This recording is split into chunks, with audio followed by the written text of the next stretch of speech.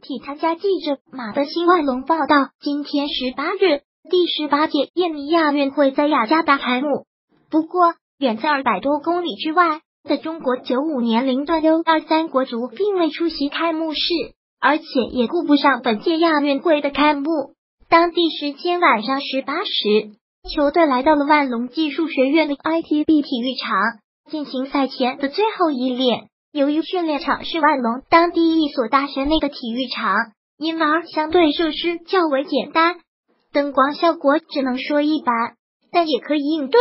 中国队来到万隆之后，起初几天的训练都是安排在这个训练场进行，只有在赛前一天被安排到了万隆郊区的一个联赛场地 Stadium 体育场进行赛前最后一练。中国队之所以选择晚上十八时开始训练，一方面是组委会安排的需要，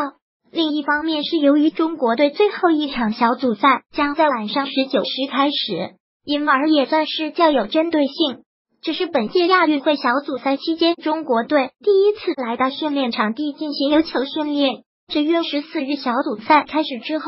因为时间间隔较短，三天进行两场比赛。因而，中国队在打完东帝汶队以及叙利亚队的比赛之后，都是留在酒店进行恢复性训练。在三比零拿下叙利亚队，提前获得小组出线权之后，球队在十七日中午十一点安排了训练，参加了与叙利亚队比赛的首发球员前往游泳池进行恢复性调整，而没有出场参赛以及替补出场的球员则前往健身房进行训练，然后。球队在下午和晚上安排队员们休整，并没有其他内容。今天下午，球队在训练之前，教练组召集球员简单开了一次业务会议，主要就是观看此前一天与叙利亚队的比赛录像，然后在十七时三十分离开球队酒店，前往万隆技术学院进行训练。今晚的训练总共持续了一个半小时，在简单的准备活动之后。教练组就展开了分队训练。此前打完与叙利亚队的比赛之后，主教练马达洛尼就已经表示将对最后一场比赛的首发阵容进行调整，实时轮换。在今晚的训练中，球队在后防线、中前场多个位置都进行了调整，而且针对阿联球队前两场比赛中的情况，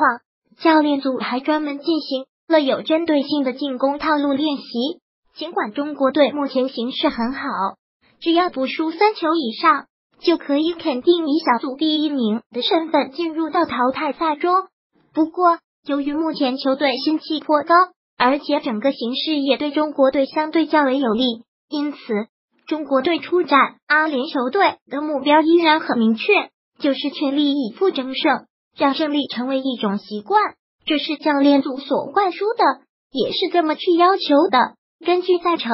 中国队与阿联球队的比赛将在北京时间晚上二十时开始。